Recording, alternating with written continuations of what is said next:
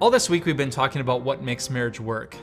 And time and time again, we've come back to this word, submit, which means to say you first. To submit to one another out of reverence for Christ is what makes marriage work. But now, ladies, here's the challenge. The Apostle Paul says, Wives, submit yourselves to your own husbands as you do to the Lord.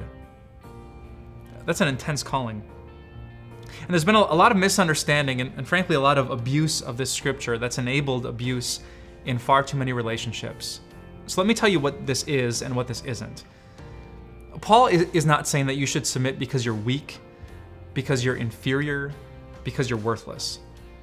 Paul's not saying that you should sit around and be a doormat and be abused and not say anything. You should protect yourself and your children. Submission has nothing to do with that.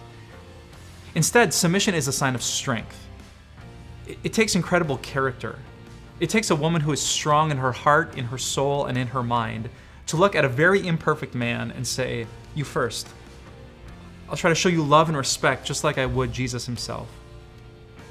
And if you want the, the proof of it, let's talk about Jesus. Do you remember the night before he dies? Jesus is in the garden and he's praying to his heavenly Father. And this is Jesus. He is as strong as can be. He's the perfect and holy Son of God. But do you remember what he prays? Father, but not my will, but your will be done. Jesus essentially said, Father, you first. He submitted his will to the Father, just like a strong wife does to her husband.